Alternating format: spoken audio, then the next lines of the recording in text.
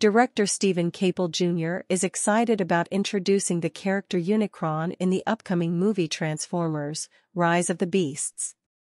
Unicron, a planet-eating villain, will be featured in the film as a major threat. Caple Jr. expressed his desire for Unicron to continue as a significant villain in the next two or three films. He believes there is potential to explore different Transformers and planets beyond Earth. Caple Jr. sees the current movie as the foundation for something special.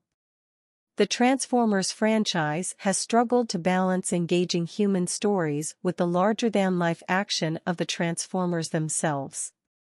While the first Transformers film had a relatable protagonist in Sam Witwicky, the sequels became increasingly convoluted and suffered from poor writing, making the action less captivating with each new installment.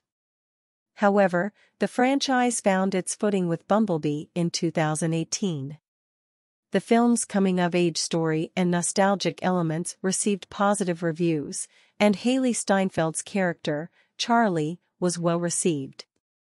Fans who grew up with the Transformers animated series and comic books have longed for a return to the space set stories of the past.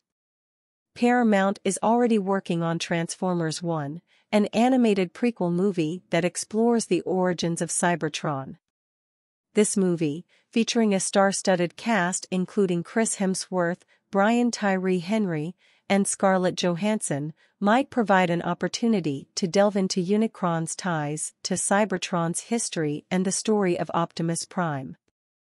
It remains to be seen if Transformers, Rise of the Beasts will establish Unicron as a major villain on par with Thanos, potentially setting the stage for future sequels set in space.